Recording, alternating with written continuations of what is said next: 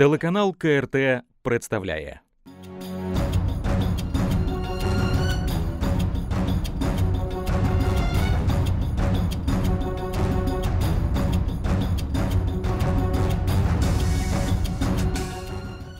Вітаю вас, дорогі телеглядачі. Ви дивитесь програму без протоколу з моєї ведучий Дмитро Василець. І Сьогодні нас в гостях дуже цікавий гість. Це Олег Рубан, начальник головного управління Держпродспоживслужби у місті Києві. Вітаю вас. Доброго дня.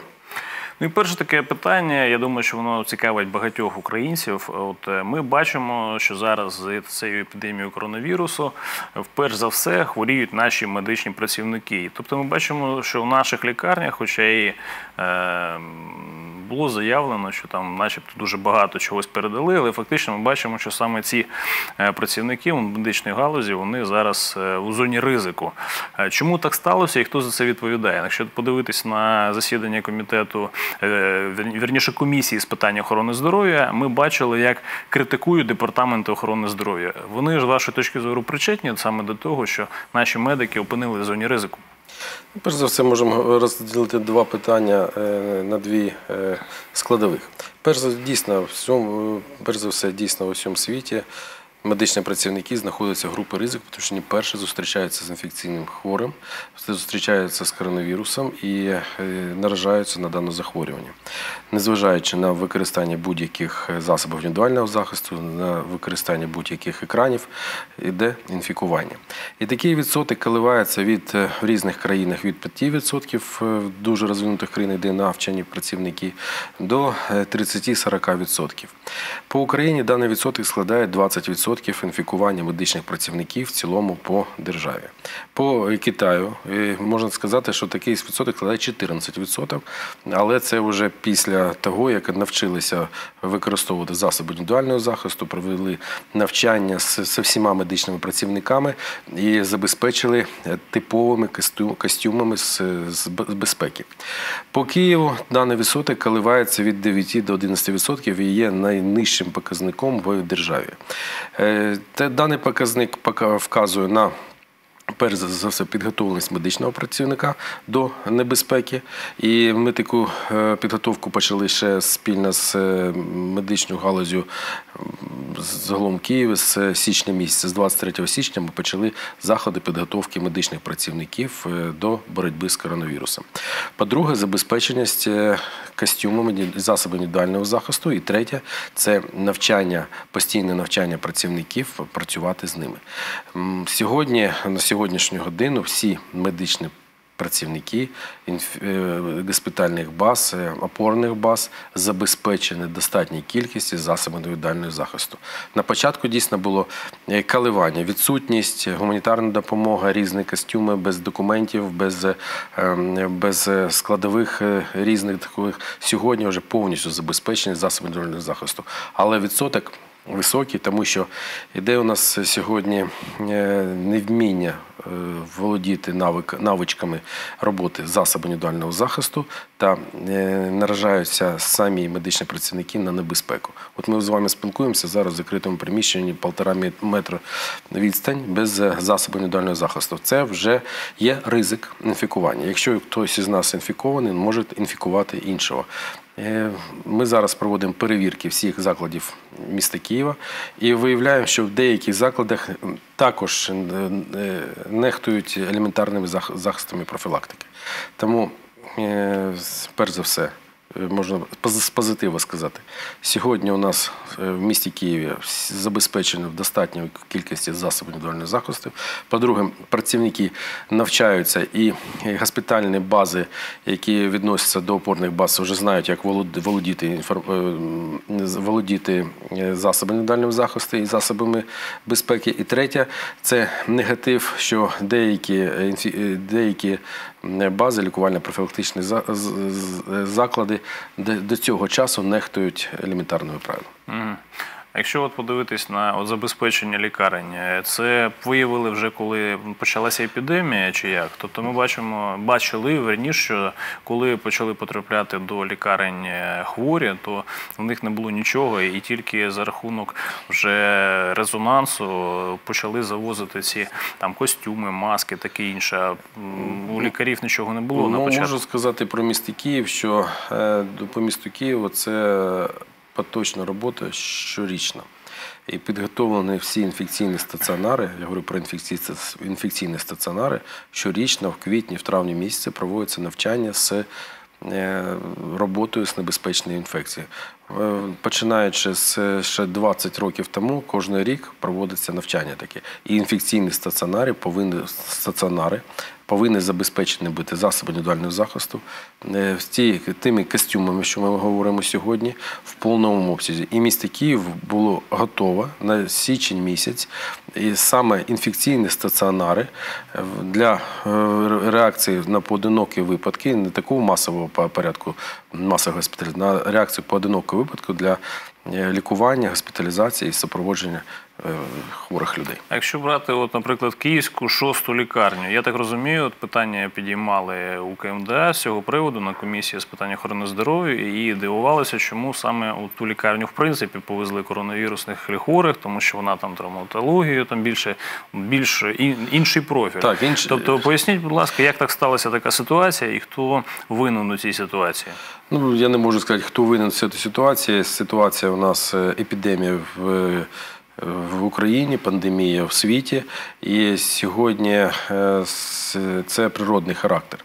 Але визнано, що в, кожному регіоні повинна бути опорні бази першого ряду, другого ряду, третього ряду, четвертого і далі. Там першого ряду це інфекційні стаціонари, е, які працюють е, і навчаються, і забезпечені в повному обсязі засобами індивідуального захисту. Я не говорю про медичними препаратами, по різними методиками, які до цього часу е, забезпечуються, і в тому числі і ВЛами. Але е, засоби індивідуального захисту, ті 500 ліжок, які у нас в місті Києві є, а це, е, це 6 лікарень, які працюють постійно з інфекційними хворими, вони були забезпечені. Другий ряд це, от, що ви говорите, що шоста лікарня, восьма лікарня, повністю четверта лікарня. П'ята лікарня е, Київський, Київська, то вони вже другий, другий ряд входить, Олександровська лікарня в повному обсязі, які е, навчалися робити як інфекційний стаціонар. Вони забезпечуються засоби індивідуального захисту, вони проводяться навчання, вони е, проводять маршрутизацію і е, спеціалізовано роблять е, даний стаціонар як під роботу інфекційної лікарні. І це було зроблено. Що стосується відношення до е, роботи з боку адміністрації лікарень, ми зустрічаємося сьогодні, деякі вставлення нерозуміння, як працювати з інфекційними хворими. Е, Сьогодні у нас є проблематика по восьмій лікарні, є проблематика мікрохірургії ока, є проблематика по 20 лікарням е, міста Києва, які сьогодні призупинили прийом хворих. Тому що там було зареєстровано випадок е, пацієнта і було зареєстровано поширення інфекційного захворювання уже серед персоналу. Щодня це ж робота щодня, робота навчання, робота підготовка, робота стаціонарів, повищений режим протиепідемічних профілактичних заходів. Угу. Якщо от е, аналізувати роботу департаменту охорони здоров'я міста Києва, як ви можете її характеризувати у часи от, е, епідемії? Е, Я можу характеризувати сьогодні її на е, 4 бала по 5-бальній системі, тому що деякі речі залежать від системи забезпечення. Але в цілому е, та, та, та проблематика, які виконують місто Київ, і в плані госпіталізації і стеженням за ситуацією, можна сказати, на тверду четвірку. Е, не- Негативна ситуація з дійсно з забезпеченням, відсутність комунікації з деякими лікувальними профілактичними закладами. І ми це спостерігаємо цю ситуацію. І е, сьогодні, якщо виставити в ранжування Е, Ми спостерігаємо за департаментом охорони здоров'я, за лікувально-профілактичні заклади, які знаходяться в формі власності, за державними закладами, які знаходяться в системі Міністерства охорони здоров'я. Ми е, за Національною академією медичних наук також більше 20 закладів лікувально-профілактичних закладів до приватної сфери. От якщо виставити по в топах, хто дотримується правил, то можемо сказати, в першому, е, на першому місці у нас є заклади лікувально-профілактичні заклади Департаменту охорони здоров'я. Друге місце займають у нас приватні структури, які дотримуються ці заклади. В третє місце у нас е, займають е, Національна академія медичних наук і четверте, на жаль, лікувально-профілактичні заклади Міністерства- охорони здоров'я, які сьогодні працюють як терапевтичні стаціонари. Угу. Тоді інше питання. От якщо от вірити інформації на сайті, е, ваш департамент, я так розумію, служба взагалі, е, вона е, дивиться за контр- і контролює ціни. Тобто, якщо зловживають цінами, тобто на споживчі товари, тобто ви моніторите цю ситуацію. Ми бачили зараз, що дуже багато торгівельних мереж зловживають своїм по суті монопольним правом продавати людям їжу, і таким чином ми бачимо, що по деяким категоріям товару ну дуже завишають ціну. І от е, як ви реагуєте на це? Е, Чи є на це якийсь законодавчий механізм е, тиску на ці структури і споживчі ці мережі торгівельні? Тобто, яка робота в цьому напрямку ведеться і де результат? Дуже цікаве питання, тому що дійсно велика проблематика була з початку епідемії, і з 10 по 15 березня було дійсно колапс з цінами. І ми це питання піднімали на рівні Київської міської держадміністрації, на рівні Міністерства економіки. І е, вирішилось питання щодо оновлення регулювання цін. І зараз це постанова Кабінету міністрів вже на підписи у прем'єр-міністра щодо регулювання по соціально значимим товарам. Але е, ринок вирівнявся сам собою, е, тому що е, включилася конкуренція, включилась е, антимонопольний комітет, включився з 10 по 15 березня. І в результаті гр- гречка, яка коштувала в травні, в березні місяці е, до 80 гривень, вона вже нормально коштує. Е, Вже середня риночна е, стоїмость. Щодо м'яса, яке коштувало 10 10 до 15 березня, коштувало 450-500 гривень е, м'ясо. Зараз вже також вже знижено до 200-150 гривень в залежності від е, зразка. Тому ситуація вона врегулювалась і вона врегульовується шляхом е, розширення е, роботи е, суб'єктів громадського харчування ринково.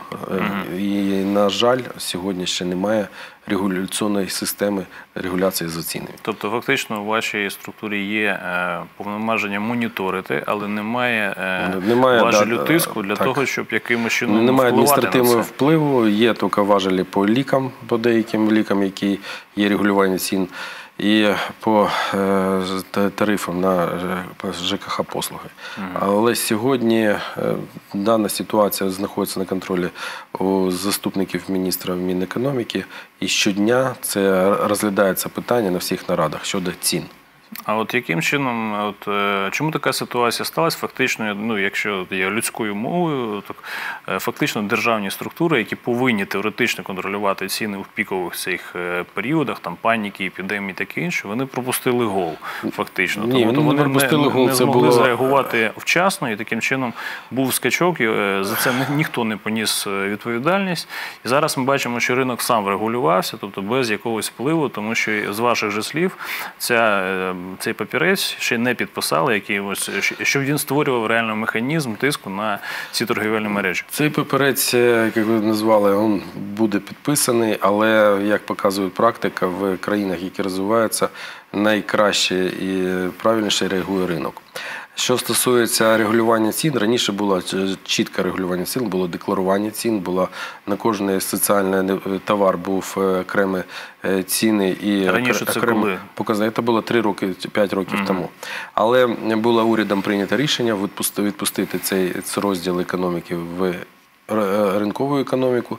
І перший рік спостерігала ситуація коливання. Але після, після врегулювання самим ринком ситуації сьогодні ми спостерігаємо ситуацію, як є. Але моніторить наша Держпродспоживслужба, моніторить ситуацію і інформують е, і антимонопольний комітет, і Кабінет міністрів, і профільне е, Міністерство економіки при зміні ситуації. Тобто, якщо я правильно розумію, щоб таких ситуацій більше не траплялось, потрібно відкотитись трохи назад і повернути саме це законодавство, яке було, щоб торгівельні мережі не мали права якимось чином е, повишати цю ціну. При от таких складних ситуаціях, як пандемія, так воно повинно бути. Тому що був повинен бути чіткий баланс економіки, чіткий баланс проведення профілактичних заходів. Ми обмежили ро- роботу в державі е, завдяки впровадженням карантину всіх суб'єктів господарювання. І в результаті деякі суб'єкти господарювання підняли ціни на, на товар, соціально значимі товари. Це не повинно бути. Повинен бути баланс. І цей бала- баланс є в зоні компетенції Кабінету міністра України. Держпродспоживслужба моніторить ситуацію, інформує. Е, випадку надання доручень будемо застосовувати заходи. З вашої точки зору, якщо подивитись на дії торгівельних мереж, е, які от таким чином зловживали фактично ситуацію, яка склалася в країні. Ну е, якщо брати якусь якийсь військовий стан, тоді це мародерство, мабуть, можна так назвати. Якщо це е, така ситуація з епідемією, таке інше, це якесь так фінансове мародерство, я так розумію. Чому за це нікого не покарали? Ну, перш за все, ну, можна сказати, дорівнює що військовий стан, що стан сьогодні з е, карантином. І е, це, це ті ситуації, які от я вже наголошую, 10-15 березня були після фактично зловживання деякими суб'єктами, що вони одні на ринку залишилися, можна піднімати різко ціни. Це, це було. І е, це е, ми цю інформацію направили в правоохоронні органи і для в антимонопольний комітет в зоні компетенції, які знаходяться вже в життя вже відповідних заходів.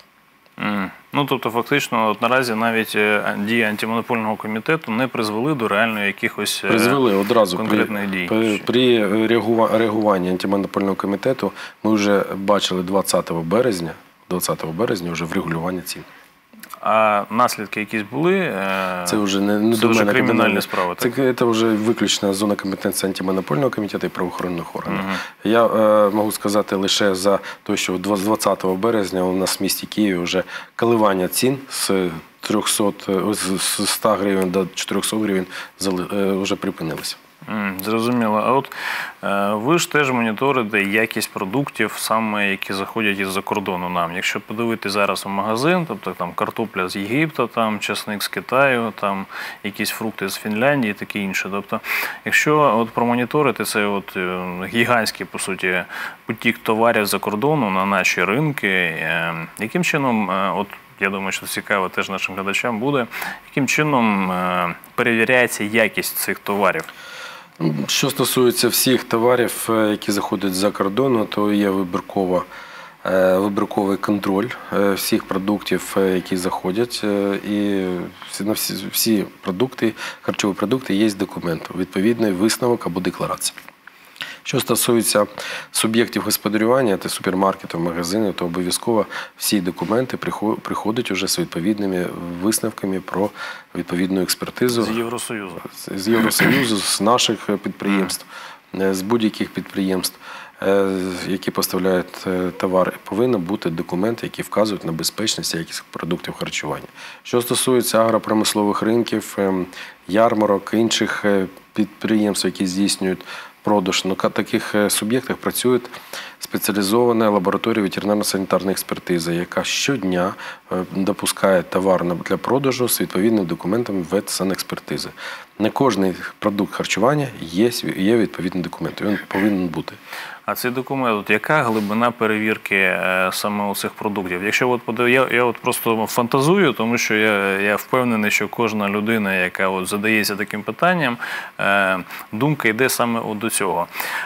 От якщо ми подивимося на те, то чим е, там обробляють е, ці, ці от, е, фрукти, овочі, якими там антибіотиками, не антибіотиками, якимись може шкідливими речовинами. Тобто, яким чином можна зрозуміти якість саме виробництва, саме вирощування цих от товарів, які доходять до нашого ринку. Тобто, ну звісно, якщо там амі- аміак там чи якийсь яд, вони можуть і виявити одразу. Але якщо ми подивимося, як вирощуються ось ці фактично фрукти? Тобто глибина фактично цього цієї перевірки, вона яка? Ну, ви задали дуже глибоке питання, тому що дійсно це піднімається питання е, розмежування е, сфер контролю і контролю самого продукту харчування, починаючи від вирощування е, товарів до, до, до столу. Тому на всіх етапах є всі етапи контролю. Що стосується розширеного контролю, то він робиться при виробництві. І даний документ підтверджується відповідним висновкам виробника, висновкам в спеціалізованій уповноваженій лабораторії, де вказаний розширений спектр всіх інгредієнтів, всіх е, показників безпеки на, е, в даному продукті. На закордонні товари це робиться за кордоном, а не в нас. Ні, у нас робиться. А, в нас у робиться. нас робиться Тобто і всі товари, які заходять, закор- е, вибірково, я Вибірково так розумію, проводиться те, контроль. і. Що стосується е, тих референс-точок, які ви назвали, правильно назвали повністю пестицидів, антибіотиків, нітратів і інших препаратів, е, проводиться обов'язково вибірковий контроль цих е, по різному продукту, різних показників. Але ми спостерігаємо ситуацію, що ми йдемо вже при скаргі, при реєстрації скарги населення на захворювання, на е, якийсь е, небезпечний товар, ми вже проводимо вже розширений контроль при зверненні громадянина. І далі по ланцюгу вже виходимо на виробника вплоть до кордону, вплоть до е, іноземного виробника або до нашого виробника. Тому я пораджу перш за все громадянам випадків виявлення небезпечного продукту, ви- випадків будь-якого продукту є, сумнів щодо його небезпечності або неякості, е, якісті, звертатися до територіального органу Держпродспоживслужби або до гарячої лінії Кабінету міністрів України, або до гарячої лінії з територіальної регіональної е, адміністрації. Обов'язково буде реакція, обов'язково буде перевірений даний продукт, і якщо будуть виявлені небезпеки, він вилучений з реалізацією від е, столу до виробника. А якщо за кордону така продукція йде, це претензія якась йде до Є суду, пред- чи як від України, чи від кого? Від України є претензія, є, є е, відповідна міжнародна програма моніторингу, є, є міжнародна електронна програма інформування РАСФ, яка обов'язково інформує про небезпечний продукт. І ця інформація щодня надходить з різних країн. Це міжнародна, між, міжнародна документація, яку отримують і у нас, і в кожній країні. Якщо виявляється там небезпека, обов'язково весь світ вже знає, що в даному продукті є небезпека. Ну добре, хоч така система існує.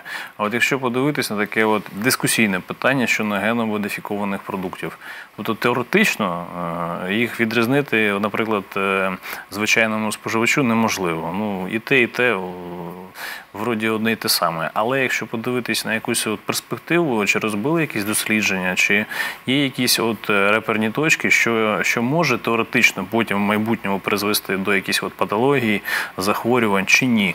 Тобто я так розумію, що це питання не тільки в нас в Україні, воно по всьому світу дискутує в принципі, в дискусії. це- це питання- Йде якась робота саме от в вашій, Це- вашій це- структурі. Це питання е, дійсно є, як ви сказали правильно, дискусійним, але е, ГМО не повинно бути. От, тому всі, Це заборонено законом України? Так, е, це продукти харчування, які повинні надходити до столу, вони повинні пройти медичну експертизу в спеціалізованих лабораторіях, і де буде позначка на продукти харчування без ГМО. Це, це є документах прописано в законодавстві, в нормативних актах. Тому, е, перш за все, дійсно споживач не побачить він без ГМО чи з ГМО. Але якщо нема позначки, значить є е, неправильне вже маркування. Вже по е, формальним знакам можна це То, якщо так розумію, теоретично заборонено в Україну завозити продукти харчування з ГМО. Так. Ага, я просто цього не знав. Ну, роб- робити забороня, забороня, забороняється, ну, але е, нас ми можемо сказати, як вплив на організм. Ми бачимо зараз, зараз по всьому світу, по, по Україні. Глютен, глютензалежних дітей, глютензалежних людей, які, можна сказати, один із факторів вживання от таких продуктів харчування з, е, е, з ГМО. Зрозуміло. І тоді такі от е, питання щодо конкретно міста Києва. Е, На вашому сайті теж можна почитати, що ви контролюєте там е, рівень якості повітря в місті Києві. В тому числі так. В тому числі так. І от я, як киянин, я от дуже часто проживаю на лівому березі, саме це Харківські, Позняки, Бортничі. Там є мусоропереробний завод. І увечері, коли е, немає е, сильного вітру, там стоїть просто дикий сморід. І це на декілька районів, і це вже роками. І просто не знають, куди е, йти зі скаргами. Я так розумію, якщо дикий сморід, він не може якимось чином добре впливати на здоров'я. Він так. погано впливає на здоров'я. Але нічого не робиться з цього приводу. Я, от- я як киянин, я от не бачу цих дій. Е, Що стосується атмосферного повітря, то можна дійсно сказати, що дуже проблемне це питання для мегаполісів. І в місті Києві вже сформувалося вже такий вислів, що вже в місті Києві щодня формується білий смог, так званий, е, через е, забруднення атмосферного повітря. Це пов'язано з 80% через автомобільний транспорт. І в деяких регіонах перевищення по формальдегіду, по діоксиду, по, по сірчастому ангідриду, по пилу перевищує в 3, в 4, в 5 разів. І це перш за все біля автомагістралі. Що стосується дійсно проблематики Харківського масиву, е, це, це не сміттєспалювальний завод, це ПСА, це Борчинська станція аерації. Ем, На, на е, сміттєспальному заводі е, ми кожного року проводимо моніторинг, і в минулому році було масштабне такі дослідження зроблене е, з, залученням трьох профільних лабораторій. Не зафіксовані перевищення граничних допустимих норм на шкідливі викиди біля даного заводу. То, що дійсно є труба, є е, викиди в атмосферне повітря, це е, є в звичайного е, фабрики, заводу, але сморід, запах і йде від Боршнівської станції аерації. Тому Києвом зараз вже три роки проводяться певні заходи щодо обмеження, щодо відкр- е, накриття даної Борчинської станції аерації, щодо встановлення е, фільтрів. І це е, робиться щомісяця. Спільно з японськими вченими, спільно з японською програмою проводяться ці заходи. По Борчинській, по сміттєспальному заводу проводиться моніторинг, встановлюються електронні фільтри зараз там додатково е, з метою. І громадськість це моніторить е, дуже е, серйозно і майже щотижня ми звітуємося перед громадськістю щодо забруднення атмосферного повітря саме біля даного суб'єкта. Але даний суб'єкт, як Боршнівська станція аерації, яка знаходиться в 100 метрах від сміттєспального заводу. Сміттєспальний завод бу- були побудовані в 1964 році. Це було далеко за місцем, далеко від е, житлової забудови. На жаль, з Київ розвинувся і е, зараз це знаходиться вже, вже не на околицях. Це вже майже вже буде всередині. Києва буде скоро знаходитися. Тому треба заходи приймати такі, як у всьому світі. В Лондоні, в, в Берліні, в, в інших країнах, в, в Токіо сміттєспалювальні заводи знаходяться майже в центрі міста Києва, тому що е, у центрі міста. Тому е, мегаполіси роз, розростаються і в результаті е, застосовуються е, захисти, е, засоби захисту. А от з, з, з каналізації, з Борської станції аерації, там дійсно проблематика. Вся каналізація знаходиться, вся викиди міста Київ знаходяться там. Тому такий аромат, який говорити, він є, він буде, але роботи проводяться. Це дійсно проблема міста Києва. Виїжджає з Борисполя, ворота міста Києва з ароматом. А от теоретично цю проблему є якісь певні сроки, яким чином Це, можна її подолати? Е, Можна подолати. Може, хоч японські вчені мають з цього Е, приводу ну, якісь дати? Зараз вже три роки проводиться спільна робота. Дуже складно подолати її, тому що е, мегаполіс розвивається дуже швидко, і системи очищення дуже дуже вартісні. Тому це, це робиться. Але той запах, який є, це не буде. А наші українські науковці якось залучені до цього процесу? Залучені, Вони що, щось пропонують чи як? Можливо, якісь інституції Ми не залучені, займаються? але всі науковці, е, всі е, іноземні науковці, е, система водоканалу, яка забезпечує обслуговування даної станції, е, Київська міська державна адміністрація. е, Знаходиться іменно в діалогі, як вирішити дане питання. Питання дуже проблематичне, тому що сморід впливає психологічно на здоров'я. А шкідливого впливу, як ж гранично допустима концентрація викидів, там немає, але той неприємний запах, який там є, треба буде подолати шляхом побудування саркофагу або інших методик. Мгм, Зрозуміло. А от ще було дуже резонансна от, е, подія щодо от, е, підтвердження зі сторони Посольства Сполучених Штатів Америки, що в нас в Україні є біолабораторії, які працюють на нашій землі і в різних е, містах. Якщо брати Київ, то Якщо брати Київ, то є така теж е, одна з біолабораторій. Це от е, Донецька 30, інститут. Ветеринарна медицина. і- Так, так, інститут, інститут е, ветеринарної медицини. Там будується, я так розумію, ціле, цілий комплекс, там ціла будівля навіть е, цих лабораторій.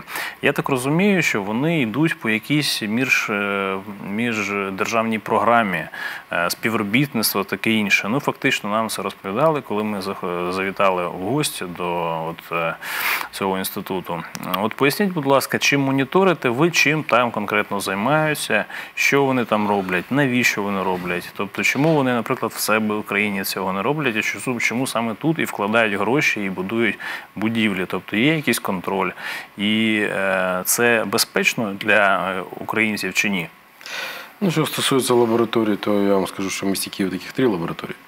Не лише на Донецькій вулиці. Ну, ми знаємо Да. конкретну Е, адресу і, на е, Донецької З 2005 року, це після е, подій, які виникли в, в Нью-Йорку після теракту 11 вересня, ця програма діє у всіх країнах світу.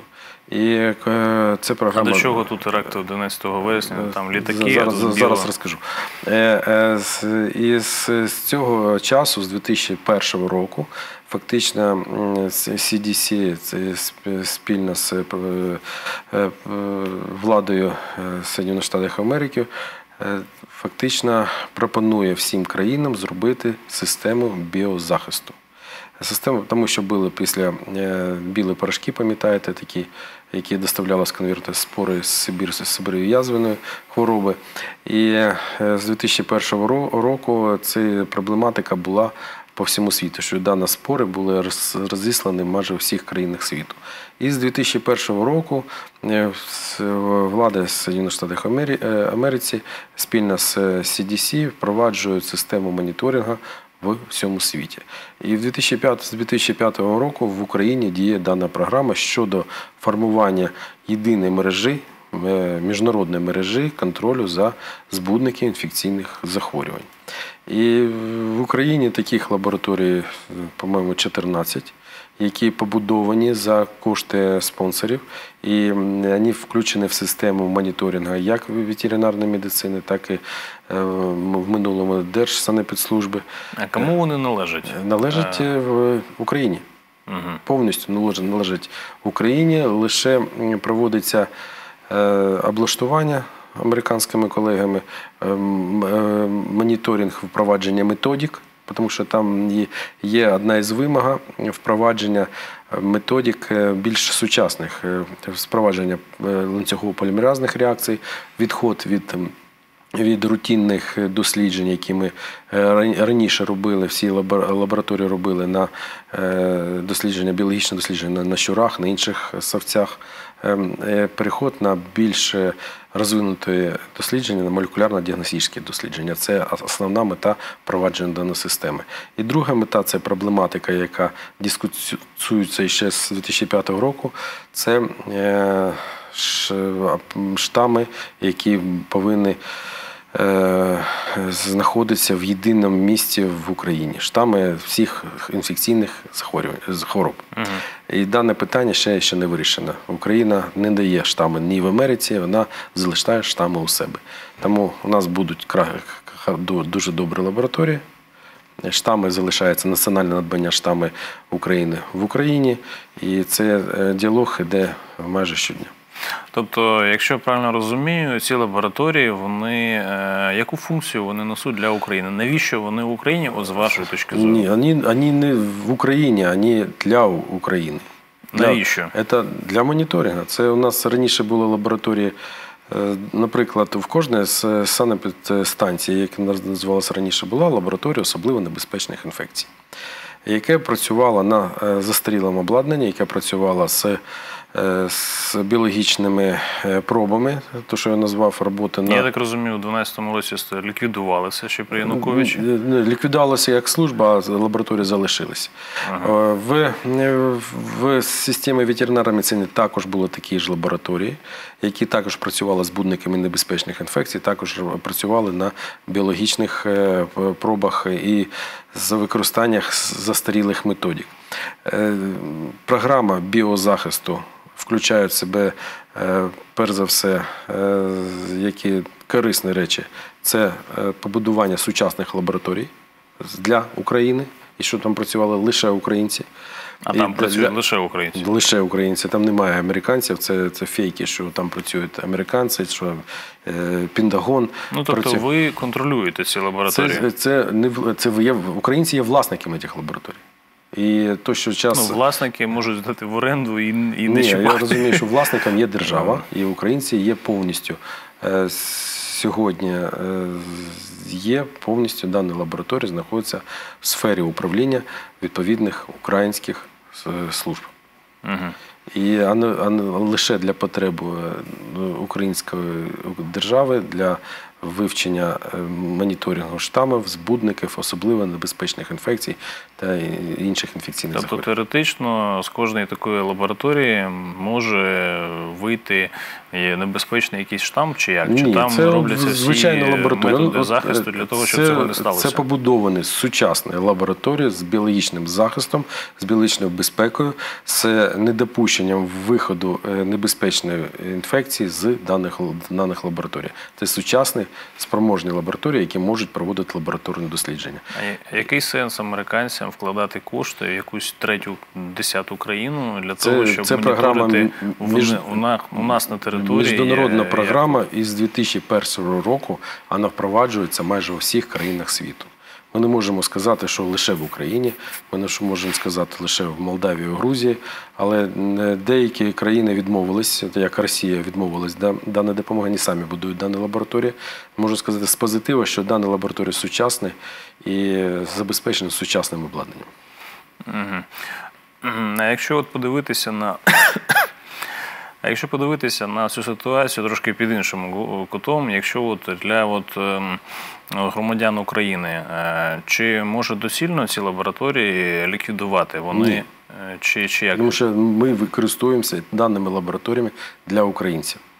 У нас, наприклад, в місті Києві е, знаходяться таких лабораторій, які проводять лабораторні дослідження порядка 200. А є потреба, щоб вони проводили ці дослідження? Тобто є потреба, щоб дослідження. дана лабораторія, які побудували на сучасних методиках, сучасними е, дослідженнями, можна в місті Києві залишити одну лабораторію. От, і, і в кожному, е, в кожному регіоні така може працювати одна лабораторія, в якому працюють навчені фахівці. Ні, це е, зрозуміло. А от, е, обладнання. А і- от е, з якою проблемою вони постійно постійно борються? Тобто, якщо існує якийсь заклад, там працюють люди, кваліфіковані люди, там підвищений рівень небезпеки, я так розумію, в роботі з цим е, з цим всім.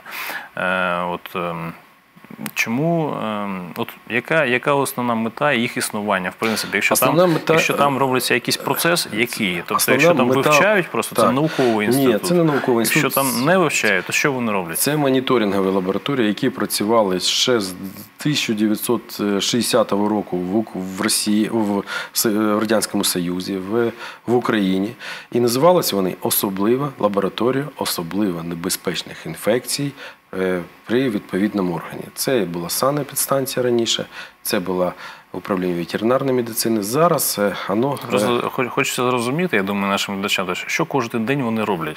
Роблять тобто, теоретично, ситуації. якщо, от, якщо брати е, продукти харчування, люди розуміють, приходить нова партія товару, вони беруть цю там вибірково, аналізують. Це є процес, але ці лабораторії цим не займаються. Ні, вони займаються вивченням е, і моніторингом особливо небезпечних інфекцій. Це е, сказ, це е, лептоспіроз, це толеремія, це холера, це чума. Це е, зараз може бути от этот SARS, ковід.